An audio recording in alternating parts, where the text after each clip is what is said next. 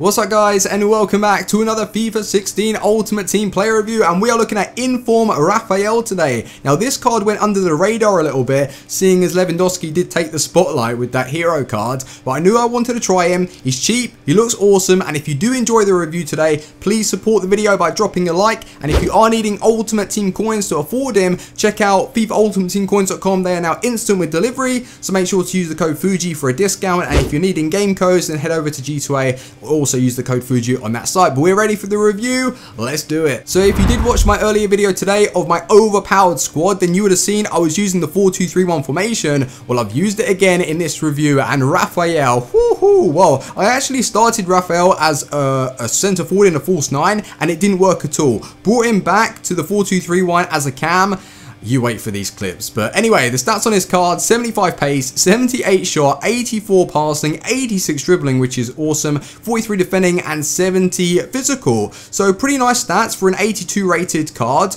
Uh, I in fact played 6 games, scoring 11 goals. A few of those were penalties, yeah.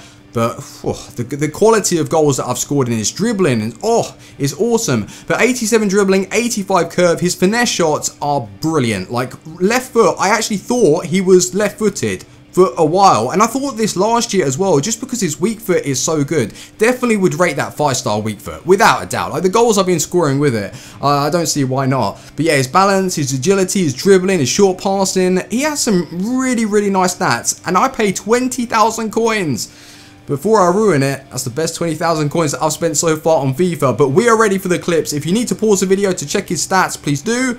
And let's go. So someone asked me last night who my favorite player was on FIFA 16, like inform wise that I've tried. And here we are, Inform Raffael. What a card. I'm actually pleasantly surprised with how well he was playing for an 82 rated like player.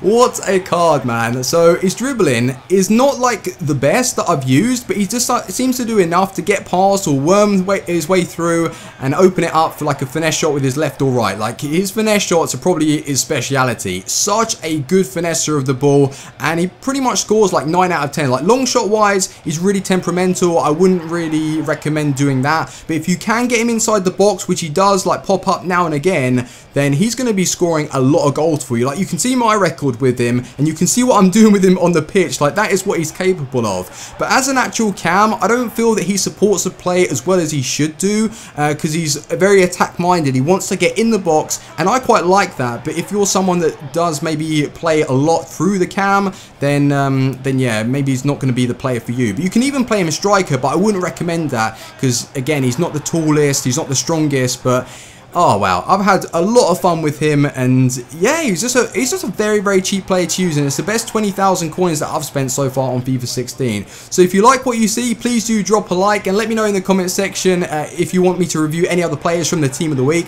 But I've actually given him an 8 out of 10. The reason why I haven't given him a 9 or 10 is because he's not as well rounded as other players. Like he hasn't got height, he hasn't got really great strength. So I think an 8 out of 10 is fair, but value for coins, without a doubt, 10 out of 10. Really, really fun player. So yeah, hopefully you've enjoyed the review, and I will see you Team Fuji on the next one. Take it easy. Peace.